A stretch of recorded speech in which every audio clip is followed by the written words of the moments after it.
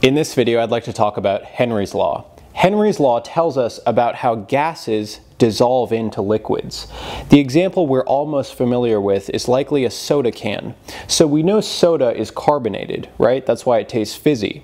And the way that they achieve that effect is they actually dissolve carbon dioxide gas into the liquid soda.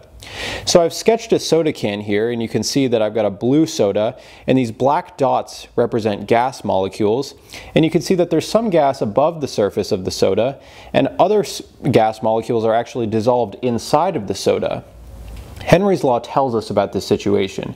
Henry's law says that the concentration of the gas dissolved in the liquid, concentration of gas here, this term, is equal to K the Henry's law constant for a specific gas and liquid pair, and this is important, it has to be a specific gas and liquid pair. So for this situation, it would be CO2 gas and liquid soda. P gas is the partial pressure of your gas of interest above the liquid. And importantly, this has to be a single gas of interest that you're looking at.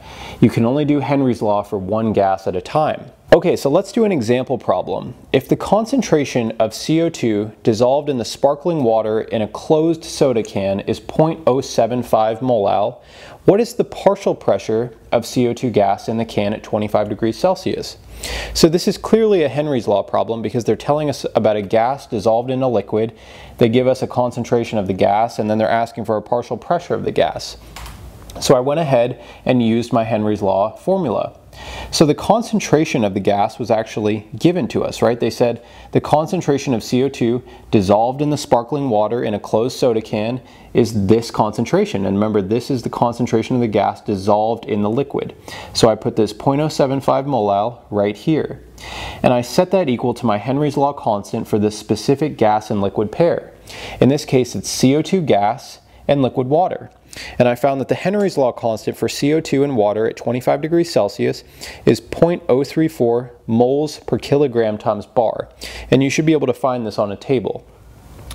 Then I solved for P gas because they asked for the partial pressure of the CO2 gas in the can at 25 degrees Celsius.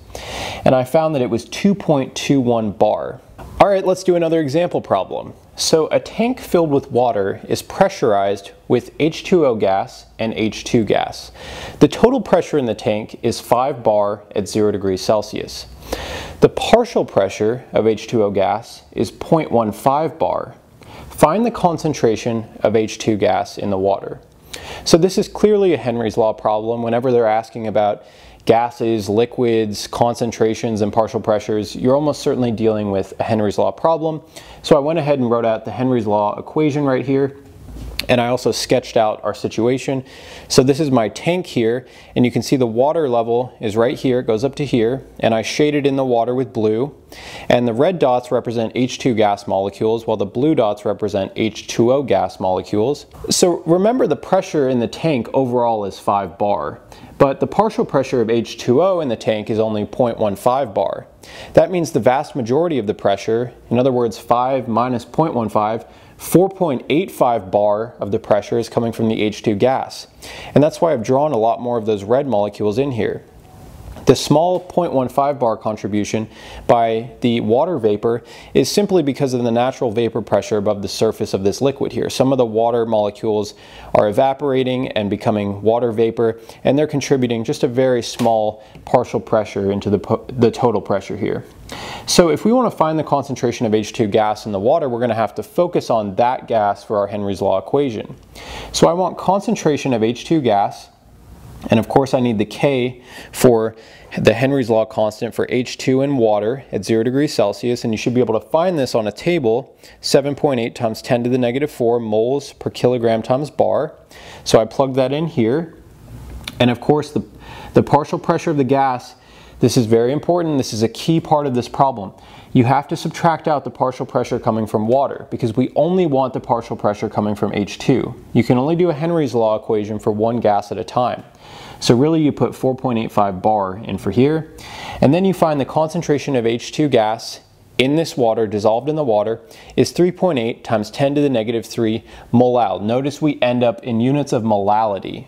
So I really hope this video helped you guys out. If it did, please share it with a friend and give it a thumbs up, and I'll see you in the next one.